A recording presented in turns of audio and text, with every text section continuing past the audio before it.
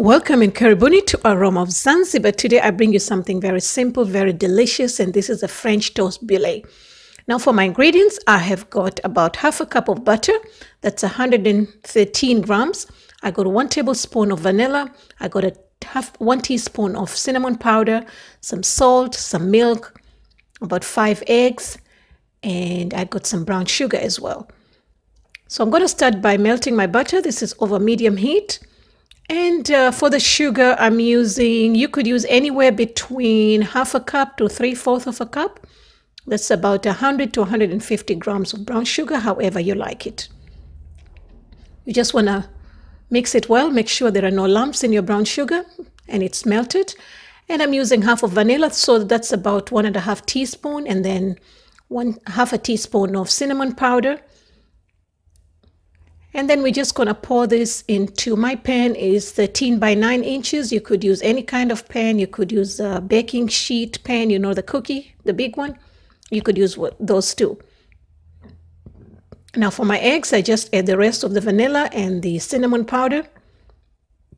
Just mix it well, and then we're going to add the milk. That's a 3 4 cup, which is 175 ml. And that's it. This is very simple. Oh, I forgot the salt. Uh, that's a quarter teaspoon of salt, and then we're just going to cut the bread. I'm using the whole wheat French bread. You could use uh, white French bread, you could use challah bread, whatever bread you prefer.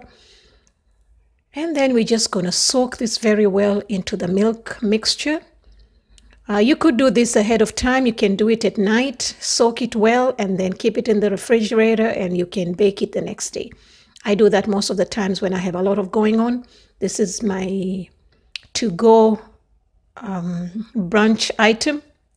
I'm the brunch queen. I love brunches. So Saturdays there's always brunch in my house. So yeah, so once that's done, I just add, uh, you know, finish, try and finish the rest of the uh, mixture. And I've got my oven on 400 degrees Fahrenheit. That's about 200 uh, Celsius.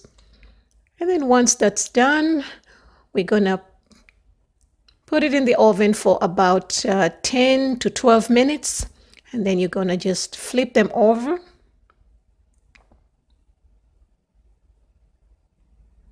Just flip them over on the other side and then you're going to put them back in the oven for about uh, 10 to 15 minutes. All right.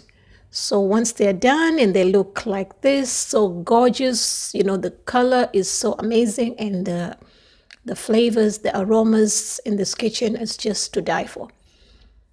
So that's it. This is a very simple item and it's a crowd pleaser. You will love it. So we're just going to serve it. And what I like to serve it is with some fruits on the top. And I've got my signature blueberry sauce. I do have the recipe for this. If you're interested, I'll put the link in the description box.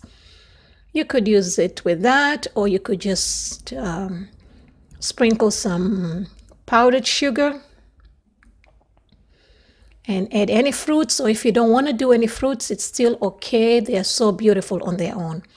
So thank you so much for more recipes. Please visit me at Aroma Zanzibar and you'll find all the ingredients in the description box below.